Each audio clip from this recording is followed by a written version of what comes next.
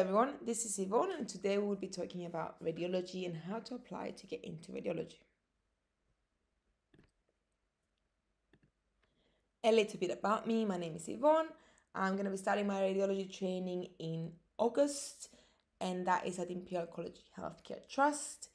Here's my email in case if anyone wants to message me, I'm very happy to be contacted.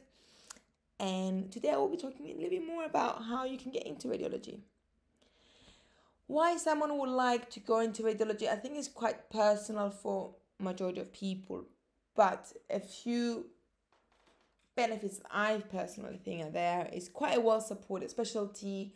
You have a lot of guidance throughout your training. It provides you a great work life balance. It's surrounded problem solving and you can get into that quite early on as you have to report from early on. It's varied and you also get to interact with a lot of different people from the multidisciplinary team and you're a very important part of that as well.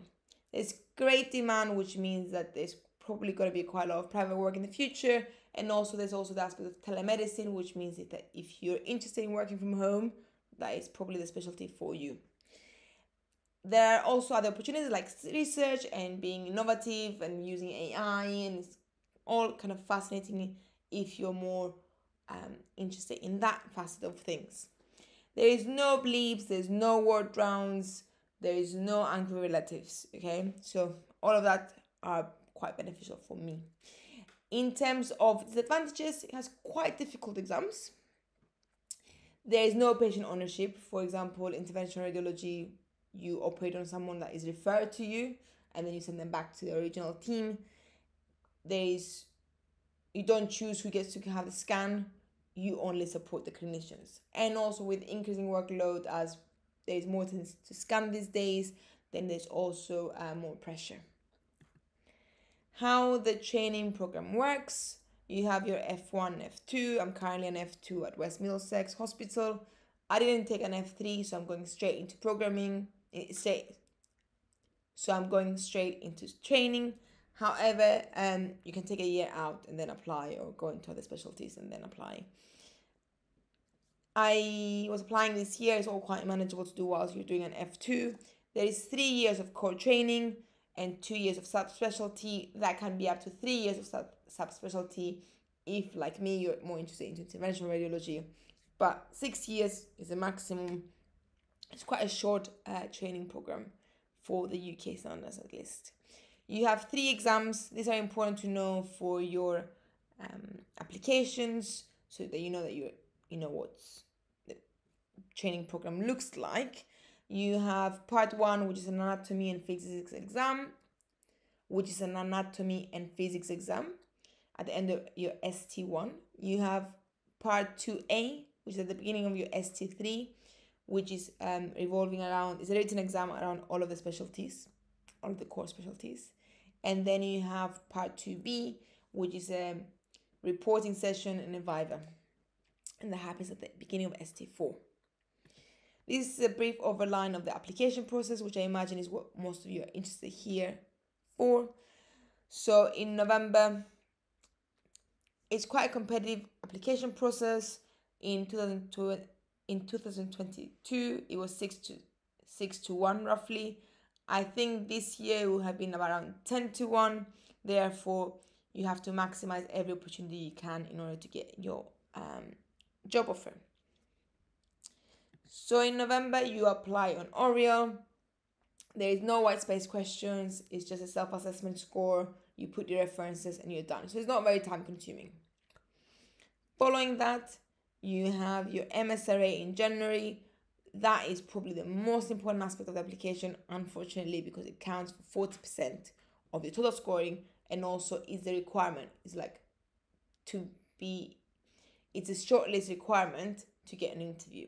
Therefore, is something you need to spend a lot of time and focus on. It's a make or break thing. Then you get your interview offers in February. Then you get to submit your portfolio evidence later in February. Therefore, although you have to have all of your points by November, so all of your qualifications by November, you have some time to collect the evidence in order to submit them in February. Interviews typically happen in March, and then end of March uh, or April, you get your offers.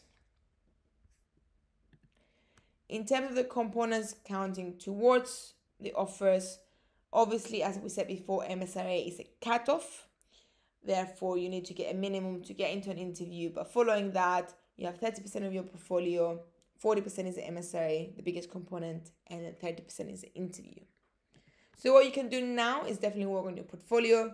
This is a rough overview of uh, the self-assessment scoring sheet. It's out of 45 and these are where the points are allocated. Looking at this more closely, commitment to specialty is something that you should definitely get. The easiest way to get it is two taster weeks. This needs to be at different kind of hospital settings. So DGH versus a tertiary center is a way of doing it. Student choice placements, for example, in my fifth year, I did a student choice placement in interventional radiology at St. Mary's. I use that as a proof of my commitment specialty. If you've done any clinical research uh, project in radiology, so you worked with any radiologist and you did maybe a poster or something like that, you can show that that is commitment to radiology. For example, I did an observership in the US for three, four weeks um, in pediatric interventional radiology at the time, and I could have used that as well. Leadership, the best thing to get is basically national radiology leadership position. However, and also suggestions how to do that is if you want to join IR juniors or any of the other um, national committees. What I did though is we found Radiology Society at Imperial when I was in final year with a few other colleagues of mine. And then we organized a symposium with two, three other London universities and we invited people from across the country, and that was considered a national symposium. Therefore, as we were all involved in organizing this, it was a big committee, it was a national committee for this um, symposium. So I used that and got maximum points. Therefore, try and see what you have. Obviously, at the time I didn't know that would be a requirement for the for I obviously at the time I didn't know that this would have been a requirement. However, it was um, quite beneficial and I presented in a way that gave me maximum points. In terms of teaching, um, it's not only important to get feedback whenever you do teaching, you also need to have organized teaching, whether that's a, on a regional or a national level, ideally. And then following that, teaching qualifications, the maximum point is if you have a master's in education, if you can get that, that's excellent. PG cert is a shorter way of doing it. It usually takes about a year Again, if you apply next year, it's probably too late.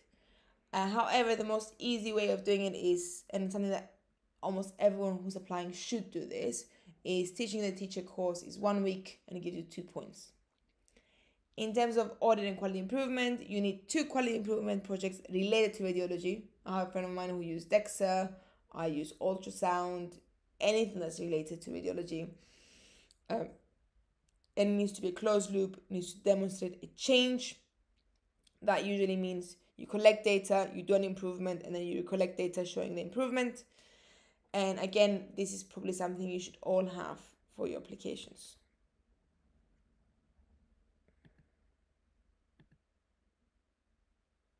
Something you should all have for your applications. In terms of your academics, having a PhD, if anyone has that, congratulations. However, the most feasible thing to do is be either a first named author in a radiology publication or first name author in an oral presentation related to radiology. Presentation is probably easier to get, still achievable. I'm not sure when, and it's still achievable. You can use BSIR and other conferences to try and achieve that. I'm really sorry that this is a bit of interventional radiology focused, but it's my personal interest.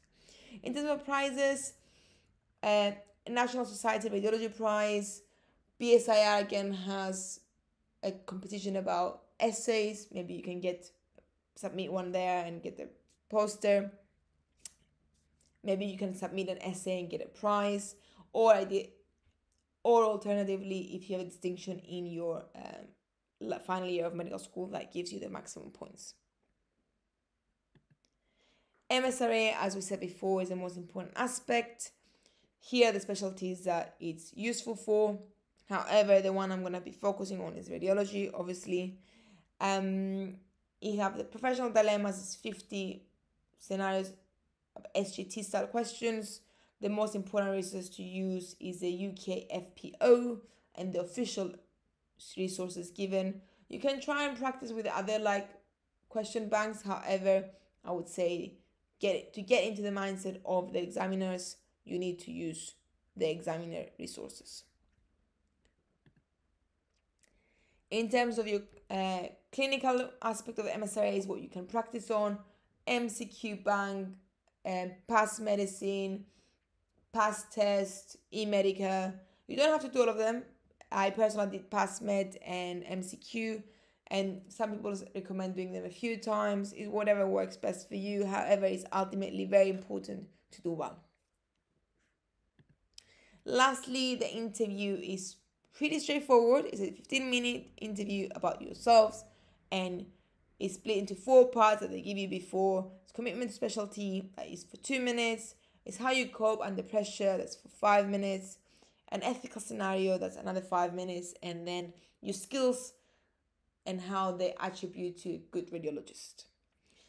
You know from before how the style will be. It's good to practice, however, not to be too rehearsed. Um, and it's good to practice but not to be too rehearsed. And that is all from me. I hope this was useful and all the best in your applications.